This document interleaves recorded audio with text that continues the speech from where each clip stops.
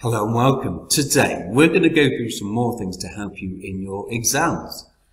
This video comes under the umbrella of exam tips I've already done a couple of videos on exam tips and I can, I think about, I think I might create a playlist called exam tips and place them all in there. Now this is for IGCSE, ICT Edexcel, but it's also applicable to many other things as well because you will see these command words that I'm going to show you in a moment in many of your exams. So what is a command word? Well, it's words that are used in external assessment, which are exams.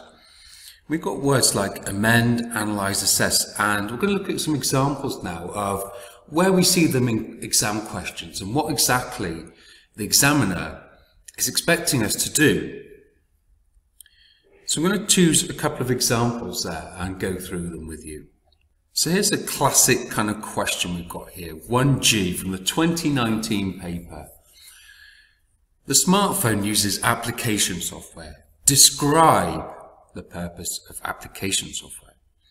So let's have a look at the taxonomy. What does describe mean? It means give an account of something. Statements in the response need to be developed as they are often linked, but do not need to include justification or reason. So merely describing. I'm not kind of giving any reasons behind. I'm just describing the purpose of application software. So another thing I'm linking to in the description is this glossary of terms, and there's over there's 13 pages to this. And it's all the words that you might need to learn in the exam. Now, one thing I recommend doing with this that I've seen students do really well is take these glossaries of terms, take these words and these definitions, and create flashcards with them. So if we look on here, we've got application, a program that allows a user to perform a task. Applications are often called apps. So that's going to help me write my response here. So here's a response to that, that question there. A program designed so that the user can carry out a particular task. Now, does that fit the bill for describe? Give an account of something. Uh, we do not need to include justification or reasons. So that is two marks. So obviously the writing, when I type it, that looks slightly smaller. And if you were handwriting that in your exam, you'd probably go into two sentences. So for this answer, I would get two marks because I've got a program designed so that the user, one mark, can carry out a particular task, two marks. If you want to add examples there, like for example, write a letter, send an email, create a spreadsheet, then you can do, but I reckon I've got my two marks with just that sentence there. But bear in mind though that in your exam, that would look slightly longer and that would probably go into two sentences with the handwriting. So that is describe. Give an account of something and I don't need to write any reasons or kind of justification behind that because that fulfills the brief of the describe question. Okay, so now let's look at the explain question for two marks. So if we scroll down, we can see what explain means.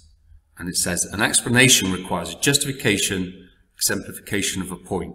The answer must contain some element of reason justification.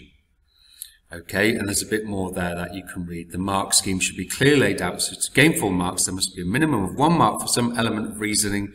Justification should satisfy definition of explain. So explain fits nicely with things like um, benefits, drawbacks type questions. So what are the benefits of using solid state storage with a smartphone? So we're thinking of things like um, smartphones are portable, get knocked about a bit, solid state is stronger, low moving parts, it's going to be quieter, takes up less space. Those are the kinds of things what we're looking for here. So here's my answer. Smartphones are portable. Solid state storage is useful because they tend to be lighter, smaller, take up less space, have no moving parts, so are more robust. Now that is my answer for that. And does that meet the requirements of explain? Justification, exemplification of a point. I think I've got a justification there. Smartphones are portable. Therefore, solid state is useful because, here's my justification, solid state tends to be, solid state drives tend to be lighter, smaller, take up less space, no moving parts, so are more robust. which fulfills the brief of being more portable because they're less likely to get damaged, they're smaller, they're lighter, which is all the things we need for a portable storage device. Let's look at another describe question. This is one that students often get wrong. What is a router? Describing the actual function of your router. And if you watch my video on exam tips, you'll see that the examiner noticed that a lot of students didn't really understand what a router was. So let's correct that now. Let's answer this question. I need to describe. So it's just going to be basically saying what exactly it does, what its functions are. There's no explanation, there's no justification needed. Right, I've written a lot here and I've gone way beyond two marks. But just to make it clear what a router does, because a lot of students get this wrong. It stores IP addresses. It reads the packet header. So remember, data is split into packets to go through the packet switch network.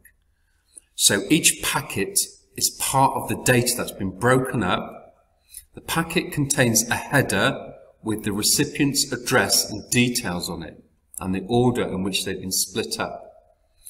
So it takes the recipient's address and forwards the data on to the correct address using the most efficient route.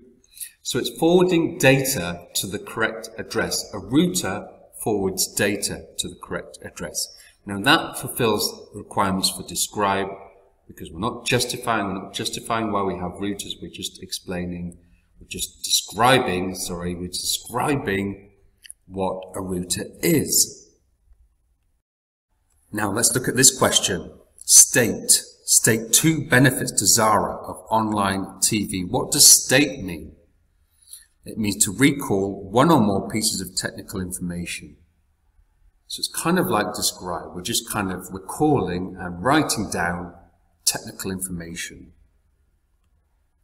So what are the benefits? Stating the benefits of online TV. There's no justification there online TV versus other mediums. We're just stating the benefits. Now, there is loads you could write here, but I've just focused on two. Wide variety of content. So, online TV can have hundreds and hundreds of channels, can pause, fast forward, and rewind.